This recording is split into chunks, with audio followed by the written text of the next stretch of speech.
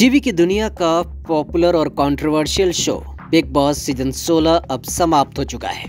Season 16 के विजेता रहे रैपर एमसी स्टैन अगर शो में एमसी स्टैन के बारे में बातें करें तो शुरुआत में वो शो के अंदर स्ट्रगल करते नज़र आए। लेकिन फिर वो धीरे धीरे सबसे घुलते मिलते गए और उन्हें शो का मतलब भी समझ में आने लग गया। और फिर अंत में जीत के मज़बूत दावेदार माने जाने वाले कंटेस्टेंट प्रियंका चौधरी। और शिव ठाकरे को हराकर ट्रॉफी अपने नाम कर ली।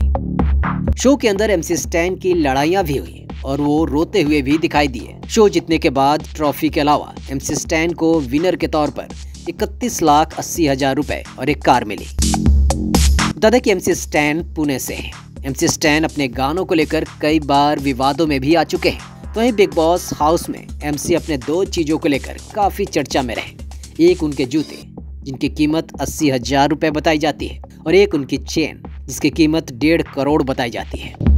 यहाँ तक कि सलमान खान ने भी कई बार उनके जूते और चेन का ज़िक्र कर दिया। जी हाँ एमसी स्टैन के लग्जरी आउटफिट्स और उनके स्टाइल पर सबकी नज़रें गई। वहीं कुछ मीडिया रिपोर्ट्स की माने तो एमसी स्टैन की कुल संपत्ति लगभग 16 करोड़ रुपए है। रैपर कॉन्सर्ट के ज़रिए एमसी स्टैन अच्छी खासी कमाई करते हैं। तो ये एमसी स्टैन के नए नए गाने भी समय समय पर रिलीज़ होते रहते हैं। For latest TV news and gossip subscribe to our channel telly network